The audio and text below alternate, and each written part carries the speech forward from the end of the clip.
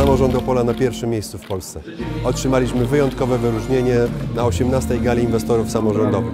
W latach 2017-2018 inwestowaliśmy najwięcej spośród miast wojewódzkich. Bardzo się cieszę, że miasto tak pięknie kwitnie i się rozwija. Dziękuję wszystkim, którzy przyłożyli swoją rękę do tej wielkiej nagrody. To nagroda zespołowa dla całego miasta. Dziękuję bardzo.